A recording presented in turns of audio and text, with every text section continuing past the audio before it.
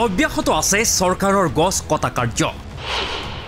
উজান বজাৰত ব্ৰহ্মপুত্ৰৰ পাৰত কটা হৈছে বৃহৎ গছ। উন্নয়ন আৰু সৌন্দৰ্য বৰ্ধনৰ নামত গুৱাহাটীত এফালৰ পৰা প্ৰকৃতি ধ্বংসত হাত উজান দিছে হিমন্ত বিশ্বৰ নেতৃত্বাধীন বিজেপি মিত্ৰজোঁট চৰকাৰে। ৰাজপথৰ কাষত থকা ডাঙৰ ডাঙৰ গছবোৰ ৰাজপথ বহলোৱা ফ্লাইঅভাৰ নিৰ্মাণ কৰাৰ আদি কাৰণত কাটি প্ৰায় শেষ কৰাৰ পাছত এইবাৰ অসম চৰকাৰৰ পৃষ্ঠপোষকতাতেই উজান বজাৰত চলিছে প্ৰকৃতি গছ কটা কাৰ্য। উন্নয়নৰ নামত প্ৰকৃততে হৈছে কি? গুৱাহাটী মহানগৰীত দেখা পোৱা গৈছে যে উন্নয়নৰ নামত বিভিন্ন প্ৰান্তত গছসমূহ কাটি তহিলং কৰিছে। শেহতীয়াভাৱে উজান বজাৰৰ লুইটৰ পাৰাৰতো কাটি পেলোৱা হৈছে কেইবাজোপাও মূল্যৱান গছ। চৰকাৰে প্ৰতিশ্ৰুতি দিছিল বা চৰকাৰে কৈছিল যে এক কোটি গছপুলি ৰোপণ কৰিব। প্ৰকৃততে এক কোটি গছপুলি ৰোপণৰ প্ৰতিশ্ৰুতি দিয়া চৰকাৰখনে শেহতীয়াভাৱে কৰিছে কি? বিধায়ক আৱাসৰ পাছত এইবাৰ ব্ৰহ্মপুত্ৰৰ পাৰত চলিছে গছ কটা পৰ্ব। উন্নয়নৰ দোহাই দি এফালৰ পৰা গছ কাটি তহিলং কৰিছে বিজেপি শাসিত চৰকাৰখনে।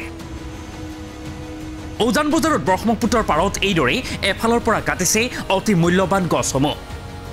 নিশাৰ ভিতৰতেই অতি সংগোপনে গছসমূহ কাটি টুকুৰাসমূহ এনেদৰে দমাই গৈছে।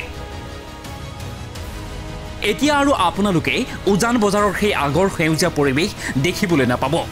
I T D cementation India limited নামৰ কলকাতাৰ এটা ঠিকাদাৰী প্ৰতিষ্ঠানে ব্ৰহ্মপুত্ৰৰ পাৰত থকা এইসমূহ গছ গুৰিতে কাটি পেলাইছে। পিছে এই গছ কটা কাৰ্যক লৈ ক্ষোভ উজাৰিছে অসম প্ৰদেশ মহিলা কংগ্ৰেছৰ সভানেত্ৰী মীৰা বৰঠাকুৰে। এতিয়া প্ৰকৃতি থাকিলেহে যে আমি জীৱ সমাজ জীয়াই থাকিব এই কথাটো চৰকাৰৰ ভূক্ষেপ হোৱা নাই। বহুত পুৰণি পুৰণি উজান বজাৰত আপুনি দেখিছে গছবিলাক কাটিছে এফালৰ পৰা। আমি প্ৰতিবাদ কৰিছোঁ যে প্ৰকৃতিক ৰক্ষা কৰক। এইখন চৰকাৰ হৈছে প্ৰকৃতি ৰক্ষাৰ লৈ পেলাই এই চৰকাৰ কনচাৰ্ণ নহয়। এই চৰকাৰৰ কথাটো হৈছে গছ চছ কাটি যদি ফ'ৰ লেন বনায় গছ চছ কাটি পেলাই যদি অভাৰব্ৰিজ বনাব পাৰে তেতিয়াহ'লে সেইবিলাক কোম্পানীৰ পৰা ছিক্সটি ফৰ্টি ব্যৱসায়টো তেওঁলোকে ভালকৈ কৰিব পাৰে। হিমন্ত বিশ্ব শৰ্মাই হৈছে বেপাৰী এজন মুখ্যমন্ত্ৰী। লগত আছে অশোক সিংঘল। গতিকে তেওঁলোকে ৰিয়েলটৰ্ছ বিজনেছ ৰিয়েল ষ্টেটৰ বিজনেছ তেওঁলোকে কৰিবৰ কাৰণে দুইজন লাগিছে এজনে ৰুট কনষ্ট্ৰাকশ্যনত লাগিছে এজনে বিল্ডিং কনষ্ট্ৰাকশ্যনত লাগিছে।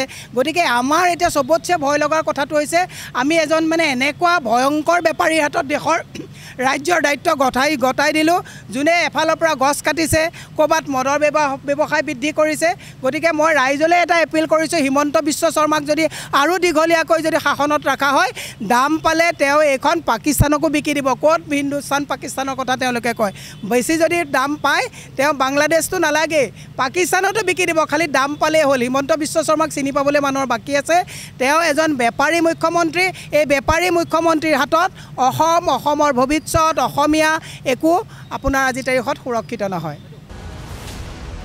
বিউটিফিকেশ্যন প্ৰজেক্টৰ দোহাই দি কটা হৈছে ব্ৰহ্মপুত্ৰৰ পাৰৰ গছসমূহ।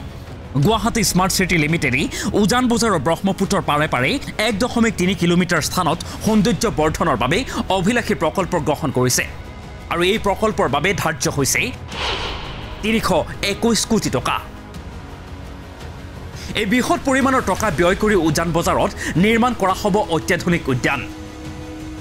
কেৱল সৌন্দৰ্য বৰ্ধনৰ বাবেই অতি পুৰণি এইসমূহ গছ কাটি তহিলং কৰা হ'ল উজান বজাৰত। উজান বজাৰৰ এই পৰিৱেশ ধ্বংসৰ বাবে ক্ষোভ উজাৰিছে স্থানীয় ৰাইজে। থনুৱাকৈ কাটি পেলাই সিহঁতে। আৰু মানে আমাৰ এইবিলাক যি ছাঁ পৰে মানুহ জিৰাবলৈ আহে সেই মানুহবিলাক এতিয়া জিৰণি নোহোৱা হৈছে মৰ্ণিং ৱাক কৰে মানুহবিলাকে। কোনো মানে কোনো ফালৰ পৰা মানে শান্তি নোহোৱা কৰি পিনি তেওঁলোকে কাটিছে। কিন্তু চৰকাৰে এইখিনি নকটাকৈও হ'লেও এইখিনি কৰিব পাৰিলেহেঁতেন কিন্তু গছখিনি নকটাই কৰে। কিন্তু এনেকৈ অন্য বিকল্প এটা কৰি পিনি কৰা হ'লে ভাল আছিল। কিন্তু তেখেতলোকে এতিয়া গছখিনি যধে মধে কাটি পেলাইছে। এইখিনিতে গছ গছনি গজোতে কিমান বছৰ লাগিব? ডাঙৰ ডাঙৰ গছ প্ৰকাণ্ড গছ কাটি পেলাইছে। সেই এইবিলাক গছটো এতিয়া পঞ্চাছ ষাঠি বছৰ হৈ গ'ল। তাৰ আগৰ গছ। যি সময়ত মুখ্যমন্ত্ৰী ডক্টৰ হিমন্ত বিশ্ব শৰ্মাই গছপুলি ৰোপণত অধিক গুৰুত্ব দিছে সেই সময়তে চৰকাৰী পৃষ্ঠপোষকতাতেই মহানগৰীত যধে মধে এফালৰ পৰা গছ কাটি তহিলং কৰা হৈছে।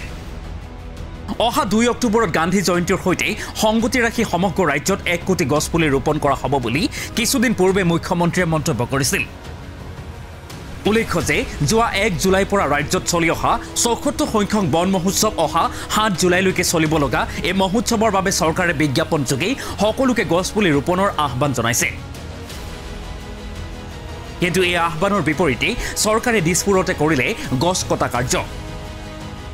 সেইদৰে গুৱাহাটী মহানগৰীৰ বিভিন্ন প্ৰান্তত এফালৰ পৰা কাটিছে গছ। গুৱাহাটী মহানগৰীৰ বিভিন্ন ঠাইত এতিয়া গছ কাটিয়ে আছে। উন্নয়নৰ নামত শেহতীয়াভাৱে গুৱাহাটী মহানগৰীত প্ৰায় এঘাৰশ গছ কটা হৈছে। তাৰ পাছতো উজান বজাৰত কটা হৈছে গছ। প্ৰশ্ন হ'ল গুৱাহাটী মহানগৰীত নাথাকিবগৈ নেকি গছ? ভিডিঅ' জাৰ্নেলিষ্ট শ্যামৰ সহযোগত Drishtirupa Bordoloi report the cross current.